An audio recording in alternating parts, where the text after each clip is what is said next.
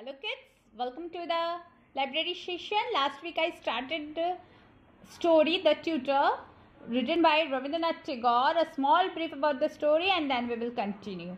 A young Majumdar landed from England to Kolkata in the night 2 o'clock. He was drunk and sleepy. He, he hired a horse driven cart but when the cart reached to the Park Street Maidan, Park Street is a very famous place of uh, Kolkata. He felt some strange sensation. He, he felt that someone sitting beside him and pressing upon him. He, he sweated and he frightened, asked the driver to stop. But uh, the car not stop, it go round and round in the dark empty Maidan and in that time he saw a blazing glance of someone. There is no face, no eyes, no body, but he saw a glance of very familiar face. Majumdar tried to recall, but he can't. Uh, that was very familiar face, but he can't recognize. Suddenly, the dry, uh, the horse stopped, and uh, he uh, saw that he was in front of his house. He called the driver because of that silly behavior. He thought that the driver make the cart round and round but the driver have another story. The driver looked scared. He said that three years ago in this cart of his, there was occurred a certain incident. But Majumdar was not in the state to listen anything. He paid the driver and he went to the house. So, and he tried to uh, remember the glance of that person but he can't. He thought it is my dr- uh, drinking status because of uh, drunk. I i feel these things.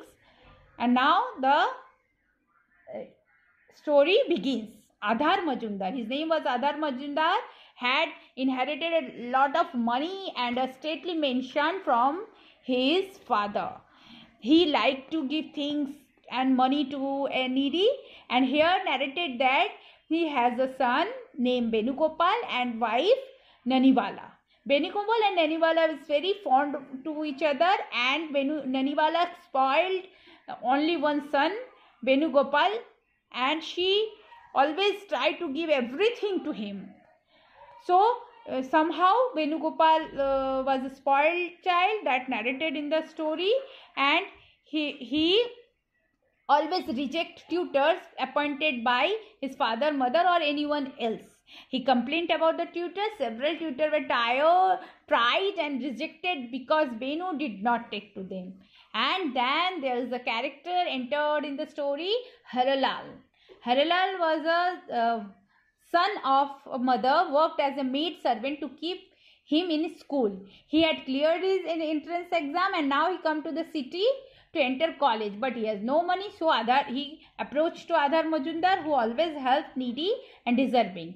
And what happened Benu uh, in a, in a at a glance Benu Gopal liked Haralal and he tells his father that uh, he pulled his uh, hand of Haralal and tells the father that uh, he is my tutor from tomorrow. And uh, there was uh, sitting his uh, Adhar, Adhar Majumdar's assistant Ratikant he said that no Oh, he tried to consult uh, Adhar Majumdar that he is not deserving. He is only entrance exam pass. So there is MABS who want to be tutor of Benu, but Benu was uh, Benu didn't uh, fancy with Ratikant, and he said that he is he is uh, only my tutor. So Har Harilal was appointed as his tutor, he would have board and logging and the salary of 5 rupees per month.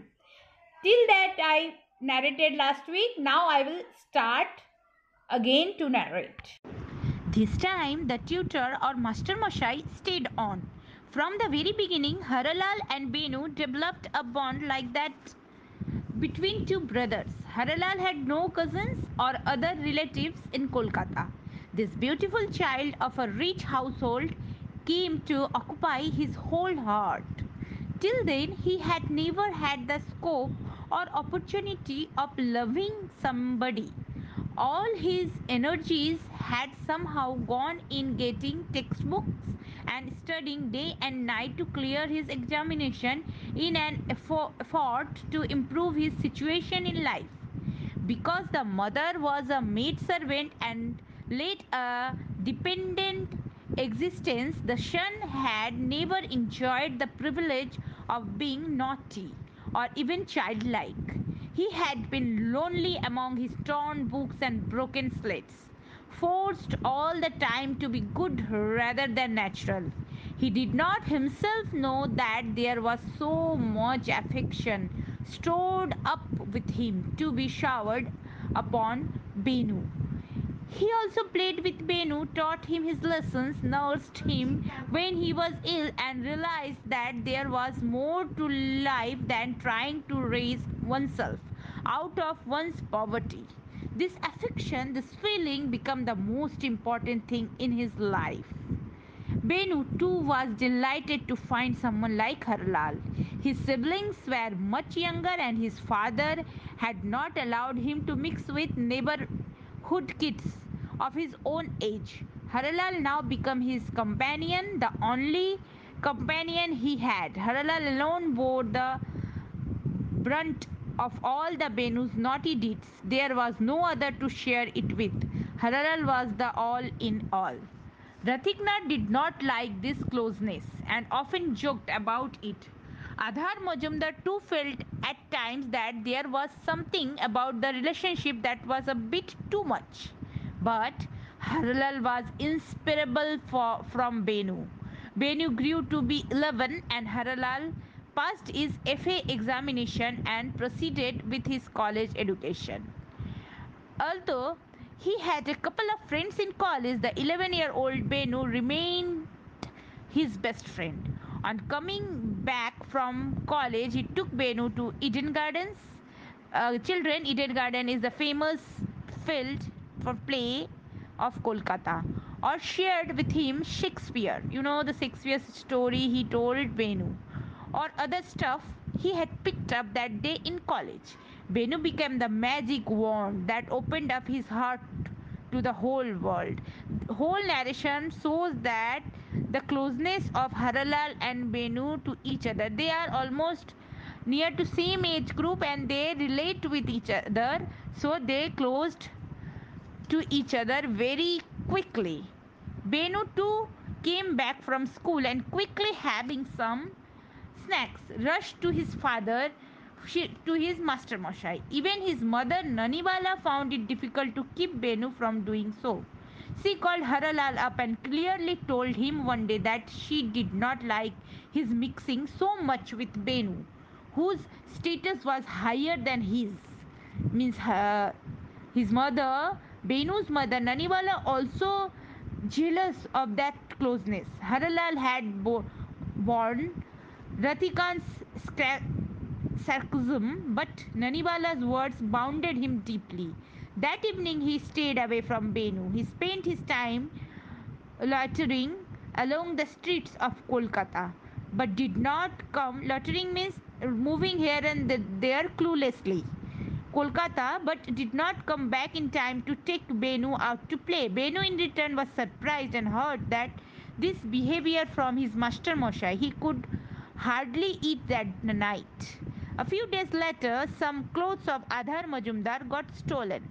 The police was called in and they did not spare Harlal's battered tin trunk. They uh, searched Harlal's trunk also. No stolen goods were found in it, but Ratikant, all well as Adhar Majumdar cast aspirations on Harlal and asked him to leave. He could continue as Benu's tutor but had to put up elsewhere, means he had to leave another place. This hurt Harlal's sense of pride and he left the service entirely. When Benu came back from school that day, he found Harlal's room empty. On the table there was a goldfish in a bottle and there, it is a favorite hobby of uh, bengali kolkata peoples who uh, pet fish and they like a small aquarium of goldfishes. And a picture book gift to benu from haralal. Haralal gifted a goldfish and a picture book to benu. The next day, with the gatekeeper's help, Benu even tracked down Haralal to the boarding house where he had gone. Haralal was sitting by himself in two minds whether to go to college that day or not. Master Moshai Benu burst into the room and put his arms around Haralal. Come back home, he cried. Haralal could neither go back nor explain to Benu why he had come away. For long, the touch of Benu's arms around his neck lingered on his in his memory, pressing upon his chest in his lon- lonesome nights.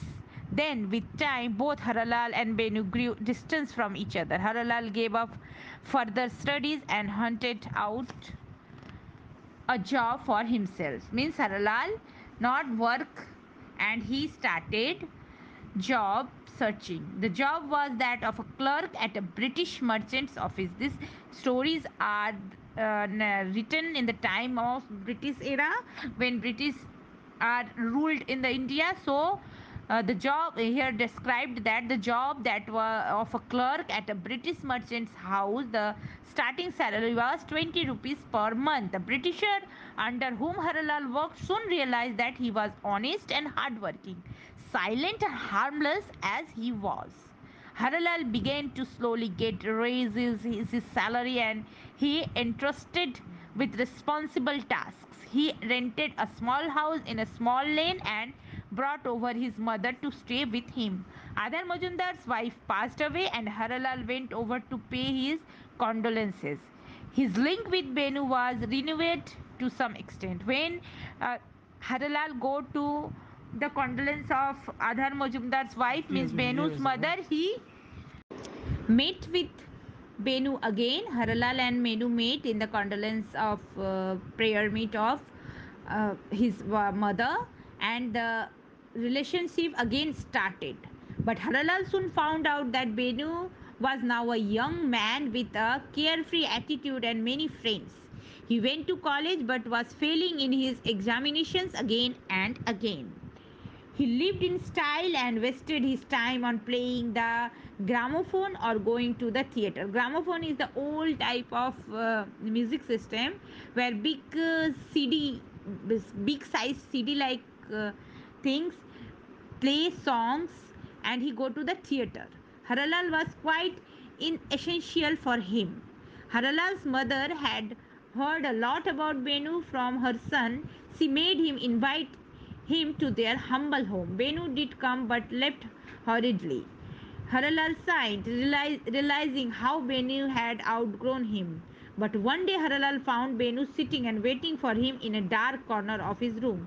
He had a tiff with his father and left home. He wanted to go abroad and become a barrister. Barrister means a lawyer in profession. He was tired of taking his examination in India and failing again and again, but his father refused to pay for his uh, passage to England until he cleared his examination. Benu had not eaten the whole day and was upset. Haralal's mother went to get him some food while Haralal tried to persuade Benu to go ho- home.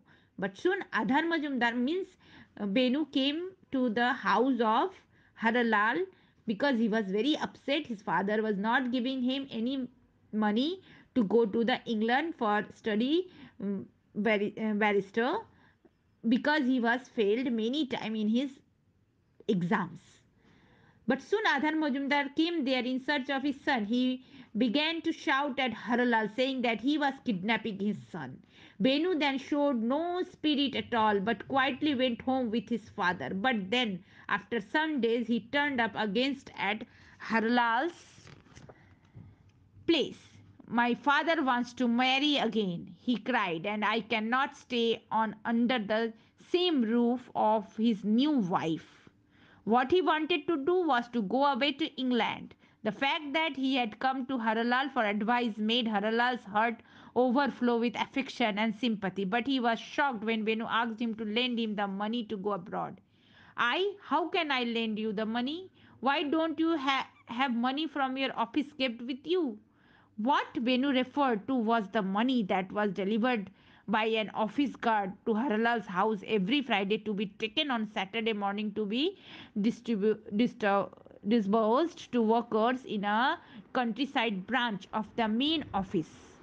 Means uh, Haralal is a great good post in the office and he distributed money to the workers of the office and that money came to the Friday and Saturday morning it distributed to the workers. Because Haralal's boss trusted him absolutely, he had been given this responsibility to him. That money is not mine, Benu. Benu asks that money from Haralal to go to the abroad. That money is not mine, Benu, Haralal told him. If only I had land or property to sell and give Benu the money, he said to himself, but of course he had none. The next Friday, Benu arrived dressed in a fine suit and bearing lots of ring and even chains. There are my mother's, he said. I will not let my father give them to his new wife. He put them in a bag and gave them to Haralal for safekeeping. Haralal put the bag in the iron safe where he kept the house money. Just then, his mother called him and keeping Benu sitting in the room, he hurried to her. That night, Haralal and Benu stayed up late, talking of their old days. Then Benu touched Haralal's feet and left in a horse driven cart. That time, when he kept the jewelry of Benu and the uh, in his office uh, cupboard and he left to the mother's call. The Benu was alone and then they talked and Benu touched his feet and left the home the that night Haralal Benu and Benu stayed up late talking of their old days. They talking with their old days. Then Benu touched Haralal's feet and left in a horse-driven cart. The next morning, a Saturday, Haralal woke up, that is Saturday, and took out the office money out of his iron safe. He found 3000 rupees missing. He also found a letter in the safe. Benu had written that he was buying his passage to England with the money he had taken from the Haralal safe. In the brief time he had been alone in the room, he was leaving his mother's jewelry and Haralal could easily sell it and replace the money Benu had made away with.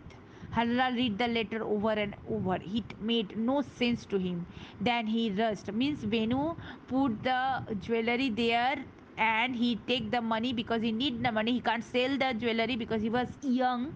That's why he told uh, he write a letter to Haralal that Haralal should sell the jewelry and he pay the, the fees of the workers.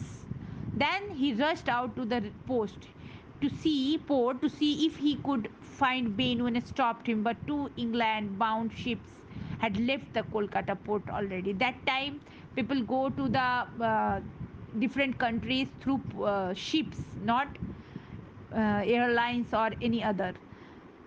And Benu must have gone off in one of them. Haralal returned home pale and dizzy. His mother felt that there was something very wrong and grew worried. Haralal took the bag of jewelry that Benu had left along with his letter and visited Adhar Majumdar. There he saw that wedding arrangement were definitely being made, but Benu's absence had already been noticed. Even when Haralal showed the jewelry and the letter to Adhar Majumdar, he refused to replenish the th- 3000 rupees that Benu had stolen. Instead, he caused Haralal of sending off his son to England in secret. Old Ratikant hurled his usual scarism at Haralal. And when Haralal came away from the mansion of the Majumdars, his mind was numb. He just could not take in the helpless situation he had fallen into. Meanwhile, his office had noted that Haralal had gone, not gone to the branch office that day to distribute the money deposited with him. Haralal boss drove up to his house, and the moment Haralal returned home, he had to face him. When he told his boss that what had happened, he got one day's time to make up for the money that had gone missing. His boss knew he was innocent, but there were rules that he the office had to follow. Haralal thought and thought, but he could not figure out a way of raising the money. He trudged on about the city in the heat. His mind was drained of ideas. His body was of energies. His head began to thrum and hurt. Even when it grew dark, he could not muster up the courage to go home. What if his boss came there and proceeded to insult him in front of his mother? He was horrid. When he could not walk on anymore, he was he hired a horse driven cart. Till the time he was walk and walk through the kolkata city and think and he was helpless. He hired a horse driven cart where should i drive you? The driver asked. Now here, here said haralal just drive on he pressed a coin into his hand. The driver drove round and round the Maidan grounds. The wrong and injustice, the threats and the humiliation he had faced since childhood at the hands of people, along with the worry and the fatigue, eventually took their toll upon him. When it was one o'clock and the tired horse refused to move upon any more, the driver shout, shouted at Haralal to tell him where to go. He got no answer from the stiff body laying on the seat because Haralal died. He lost his senses and he died because of the pain, the injustice, the threats and humiliation he faced since his childhood. Children, here the end is the starting point of the story where the story started from the end. When young majumdar that was benu actual benu gopal come to the kolkata he felt a heaviness when he go to the maidan ground where haralal died. The same feel the same feel he felt in the starting of the story when story started it narrated. Rabindranath Tagore is famous for his psychological writings and it is a great effect and narration of mindful thoughts and relationships how it grow and how people behave in different situations not always does one get love in return of love. Tagore tries to depict this in this story. Here, trust and love is taken for a ride, and instead, love and trust, Haralal get deceit in given in return. He not get love in the return he give to the Benu or any other person. His whole life he got wrong and injustice because of your his status. And in the end also he loved Benu like a brother but he not get the same in his life. It is a very mature and thoughtful story where people should understand the values of love in the return. I narrated this story to you to understand the English and also the meanings of dif- different words. I will send you image of the pages. You write words and then find out the meanings as much as possible. You find out the words and write the meaning. Search from the dictionary. Goodbye and I'll send you a sheet of moral writing. You write the moral, what you feel, not my, not any others, what you feel, what is what the reason why this story written by Rabindranath Tagore and what is the should be the moral of the story, a brief of the story, not brief actual, you write the gist of the story.